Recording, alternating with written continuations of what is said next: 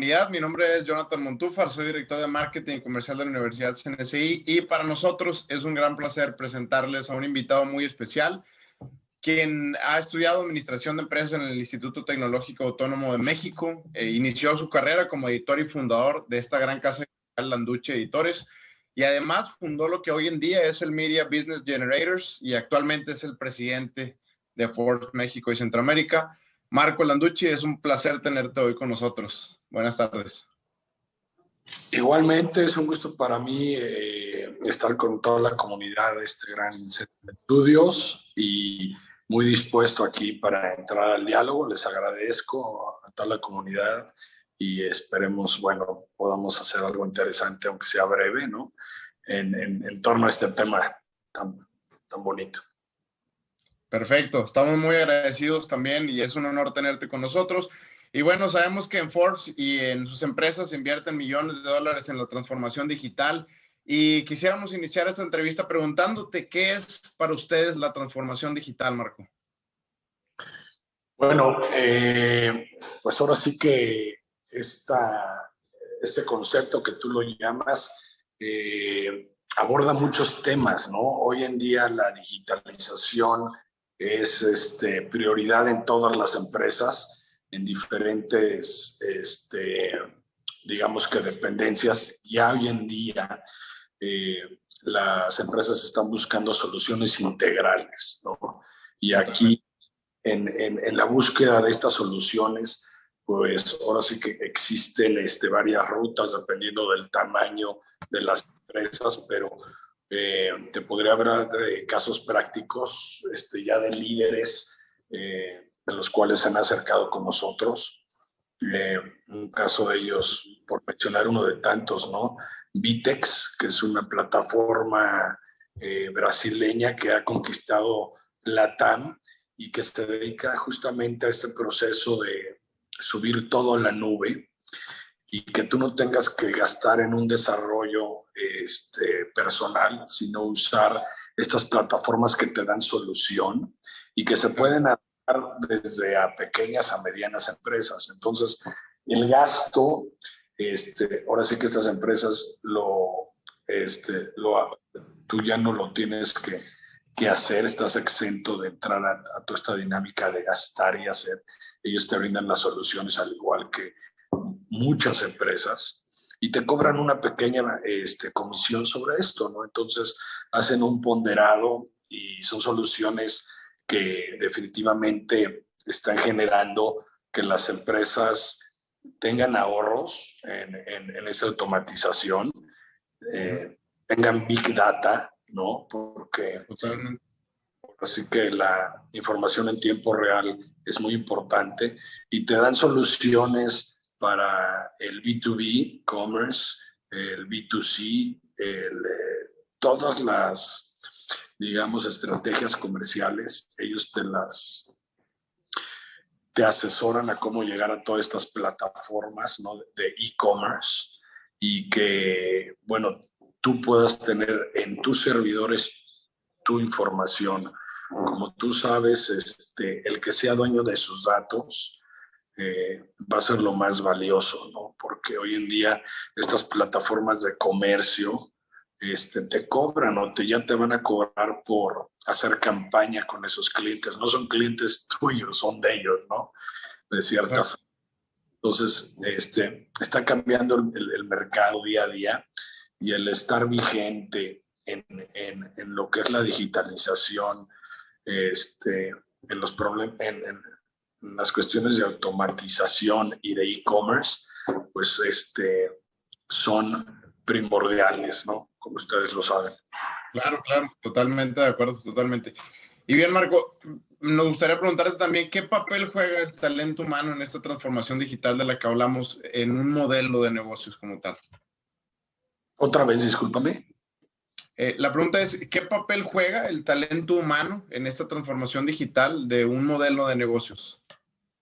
Ah, bueno, es, primordial, ¿no? Eh, hoy en día los CTOs, los CIOs son, este, yo te diría, de los, el personal eh, más buscado, dado que ellos cuentan con la capacidad técnica y la visión, digamos, integral de cómo integrar este, toda esta automatización y digitalización y, y haciendo que ahora sí que todos los, el software, eh, los fierros, este, todo esté bien eh, entrelazado, ¿no?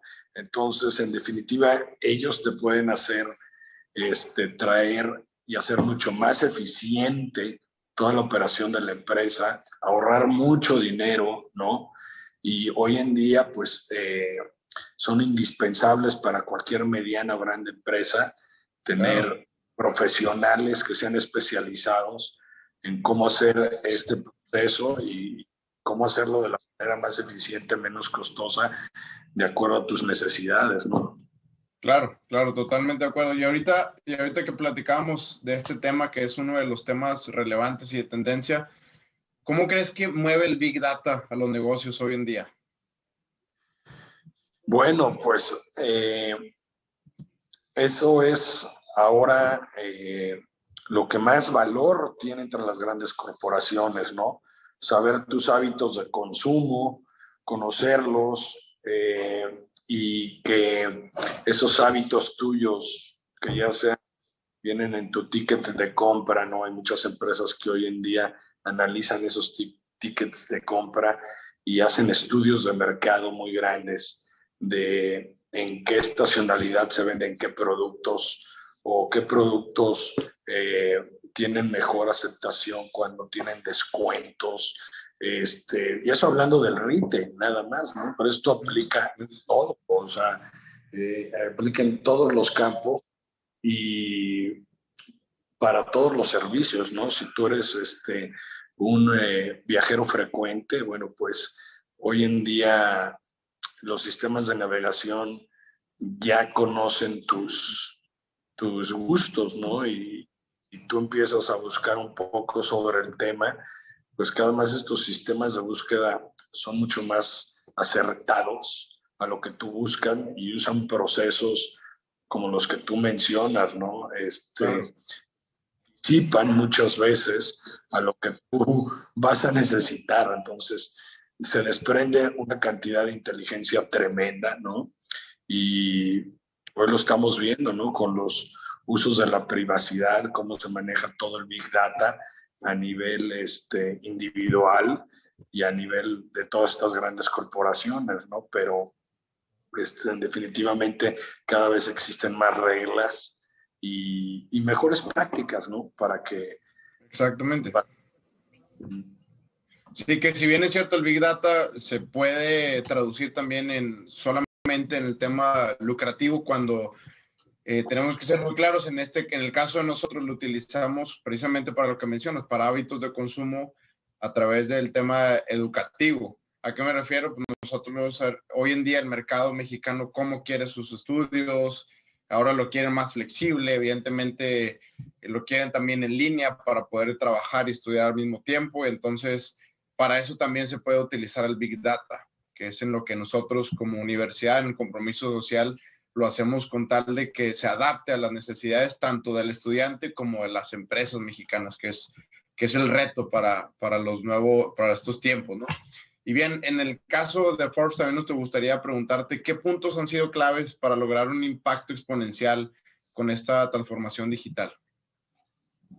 Bueno, pues mira, este, nosotros lo que hemos intentado y creo pensar lo hemos hecho muy bien, es eh, poner a los líderes de la industria de la tecnología. La tecnología es hoy en día el, eh, el ingrediente que transforma todo, ¿no? Y bueno, hablando de tecnología, pues eh, la automatización, esta, esta revolución de la 4T tecnológica, ¿no?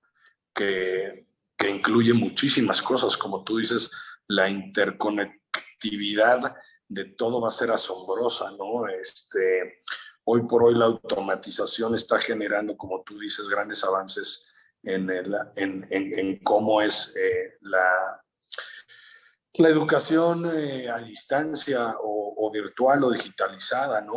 Los modelos híbridos, ¿no? Que son muy eficientes, son también este, definitivamente le dan, eh, como tú dices, al estudiante eh, acoplarse a su agenda y ser más flexibles en ellos y poderse adaptar a un, a un modelo donde tú decides a qué, a qué horas le dedicas tus horas.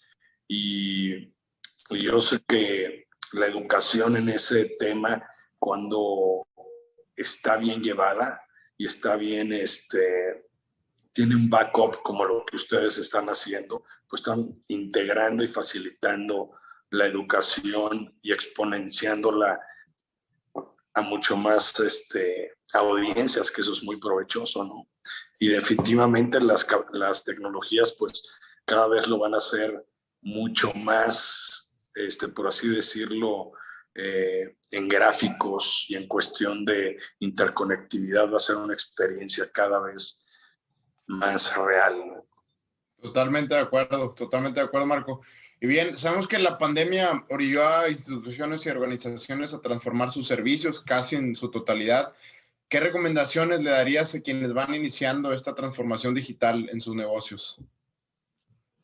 Bueno, pues mira, en lo que estamos haciendo en Forbes es, eh, nosotros ponemos en el centro de todo la tecnología, porque sabemos que va a ser la manera de cómo los negocios van a cambiar. E, este, las tecnologías de hoy te permiten que el modelo sea totalmente disruptivo, escalable y mucho más eficiente.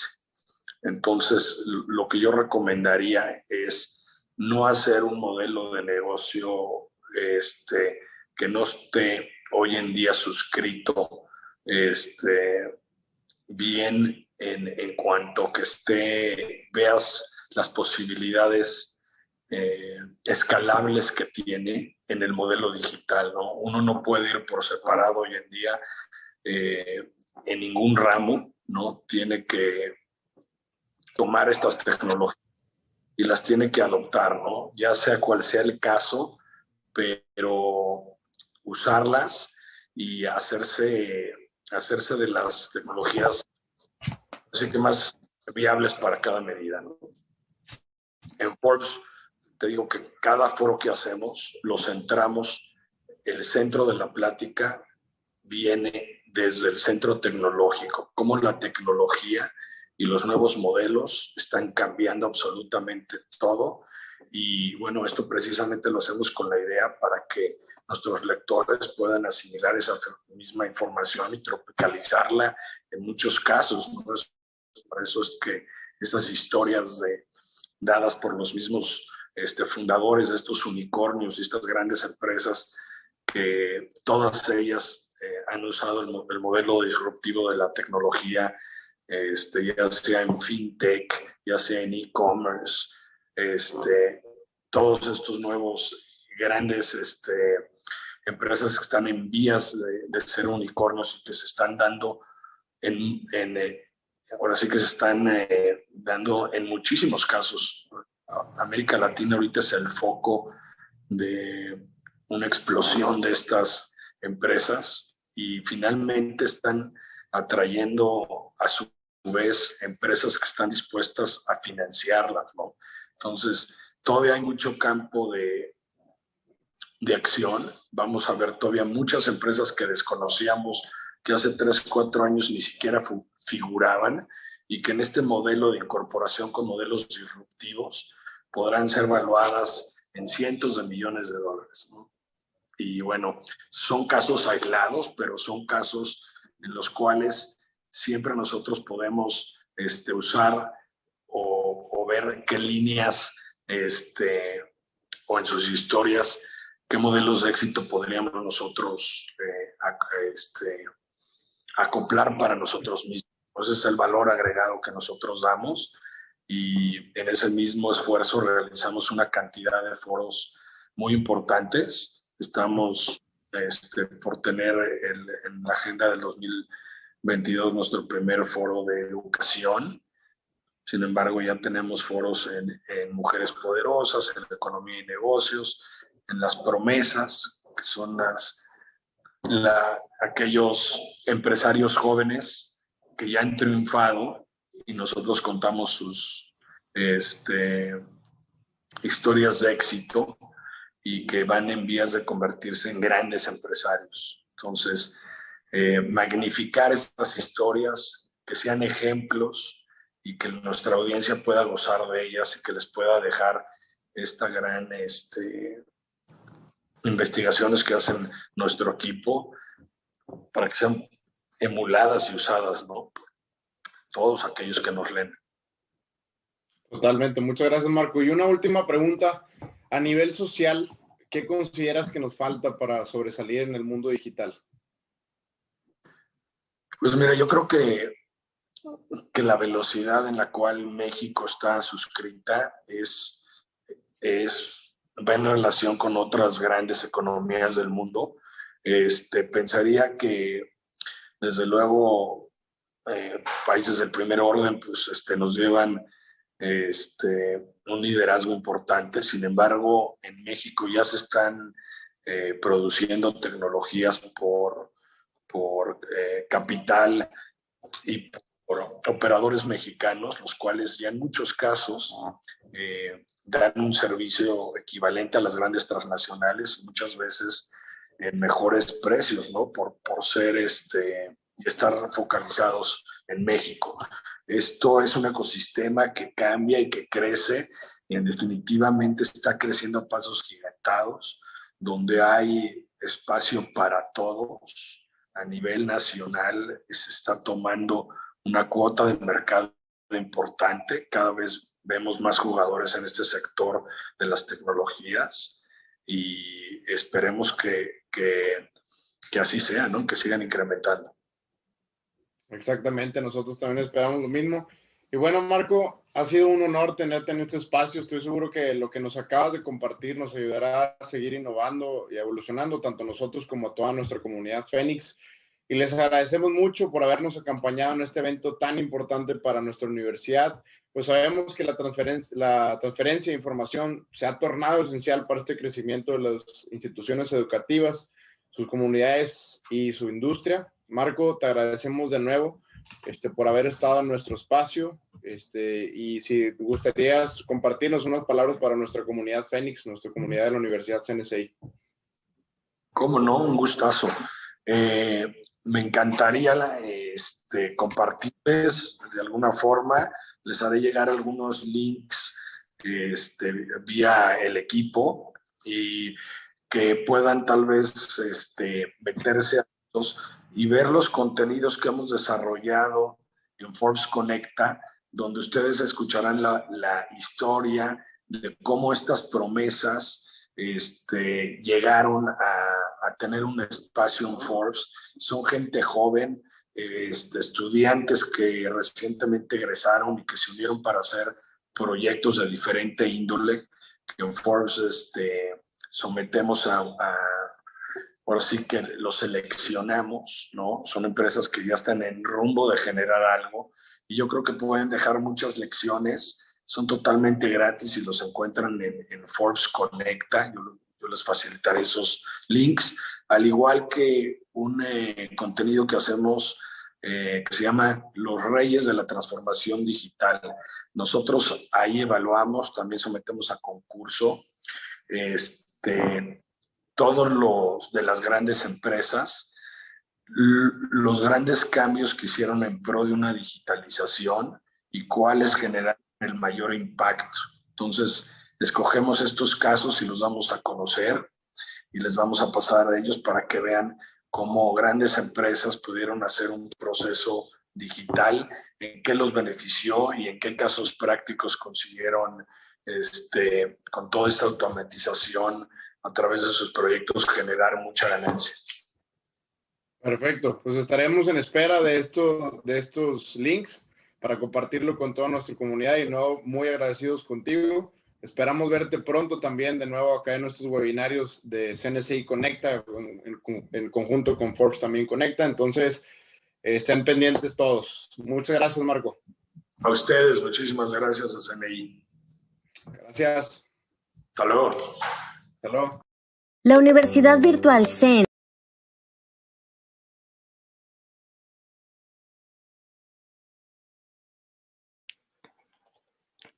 Agradecemos tan valiosa participación y mensaje de clausura de nuestros ponentes y a los asistentes por acompañarnos a lo largo de este evento. Esperemos que haya sido una grata experiencia. Les recordamos que las ponencias las encontrarán en los próximos días en nuestro canal de YouTube. Los dejamos con el spot del quinto Congreso Virtual del Conocimiento, Reskilling y Upskilling. Los esperamos en la próxima edición. Hasta pronto.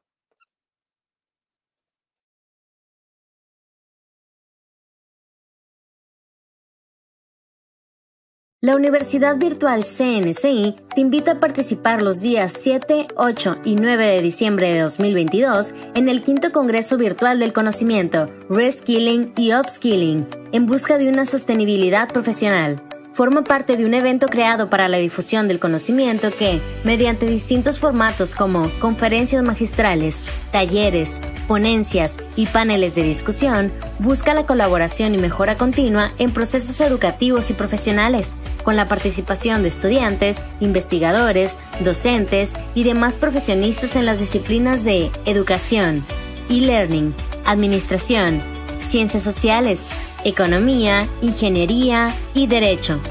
Es un evento totalmente gratuito e internacional. ¡Te esperamos!